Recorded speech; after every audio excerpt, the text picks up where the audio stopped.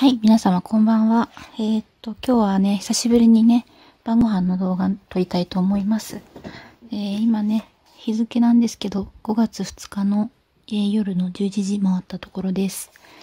え昨日のね、え精神科の通院に行ってきまして、報告の動画上げたんですけども、えっと、まあ、最近ね、ちょっと暗い話題多かったし、体調優れなかったんで、えなかなかえっ、ー、と、まあ、うまくおしゃべりできないみたいな話をしてまして、まあね、これで、ちょっと人が離れていってしまうのもしょうがないな、みたいなことをね、動画でつぶやいたんですけどもね、今翌日になりましたらね、チャンネル登録者がね、二人減りました。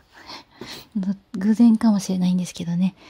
まあ、覚悟してたと言ってあるんでね、まあ、その通りなんですけどもね、まあ実際減るとこのタイミングかっていうふうには驚きましたけども、まあ、変わらずね、えー、やっていきたいなと思います。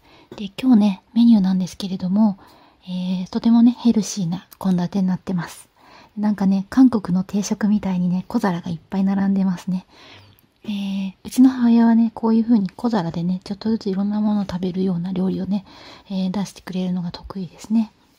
まあ、ちなみに、こちらは、あの、昨日、ゆで卵をね、えー、味玉にしたと思うんですけれども、それのね、漬けだれの余りです。それを少しね、火通して煮詰めたもので、えー、こちらをね、えー、この木綿豆腐にかけていただきます。でもかけちゃおうかな。こういう風にね、かけてぐ、ぐとしてね、食べてしまおうと思います。はい。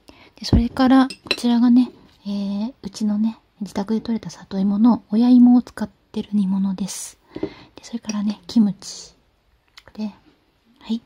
えー、それから、厚焼き卵ですね。こちらは、この前業務スーパーに行った時に、えっ、ー、と、冷凍の厚焼き卵っていうのを売ってて、このぐらいのね、えー、サイズの厚さは3センチとかで、えー、もうね、カチカチに凍ってるんですけど、だいたい300円ぐらいで買えたので、結構ね、お安かったので、国産卵と、えっ、と、豆乳を使った厚焼き卵かな。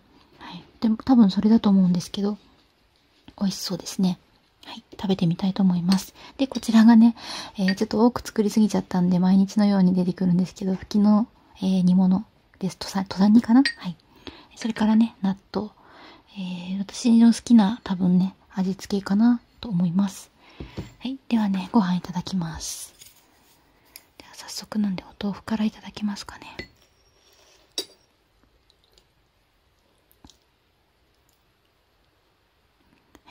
こんな感じです。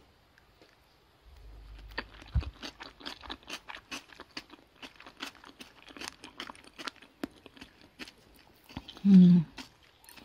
お砂糖が入ってるので、だいぶ甘いんですけれども、食べられないことはないので、やっぱりね、この漬けておいた玉ねぎもおネギももったいないので、まあ、えー、煮汁が、汁が多ければあの煮物にしようと思ったんですけども、ちょっとね、量が少なかったのでね、冷ややっこにね、して使っちゃおうと思いました。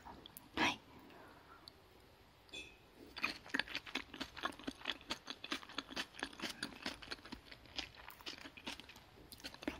ただただ食べてるとね、動画の尺が長くなっていってしまいますんで、気になるね、こちらの業務スーパーの卵焼きをね、いただきたいと思います。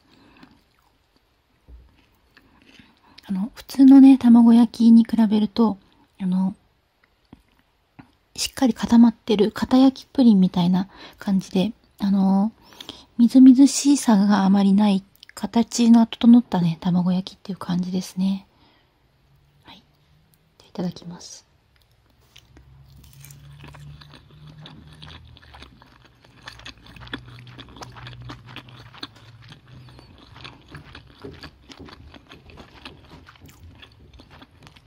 うん。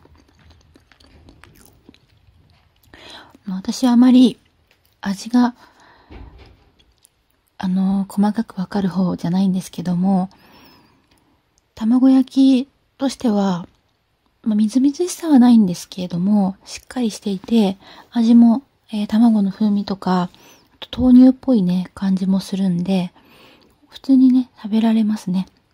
ちょっとね、えー、失礼なんですけど、業務スーパーだから品質をね、あの、疑って当たり外れがあるんじゃないかと心配したんですけれども、逆にね、水っぽさがないのでお弁当とかに入れられるのかななんていうふうにも思いました。はい。それからちょっとね、2日ぶりですかね。吹きもいただきます。うん。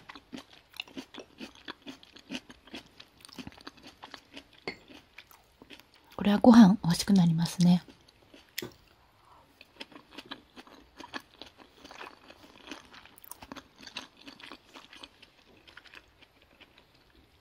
き苦手な方多いと思うんですよ。私も買ってまで食べるわけじゃないんですけども、まああの、新鮮なね、ふきをね、使ってますんで、自宅で採れた。あの、逆にね、しつこいなんか変な香りがついてなくて、フレッシュ感があるうちにね、煮たので、美味しいです。うん。まあ、頭痛はね、続いていますね。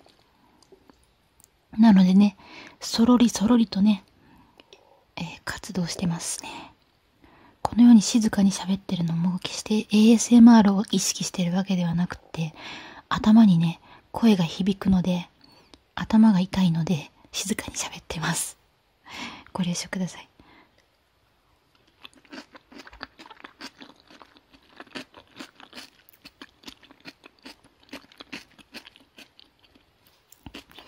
色は染みててすごく美味しそうですよね。それからキムチ。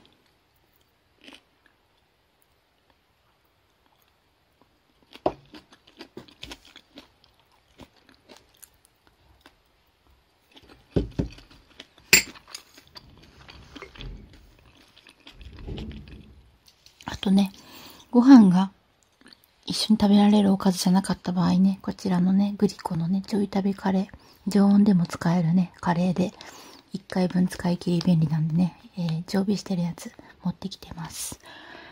はい、まあこんな感じでね、えー、そろりそろりとね、食事をしてきましたけども、そろそろね、7分も時間超えましたので、終わりにしたいと思います。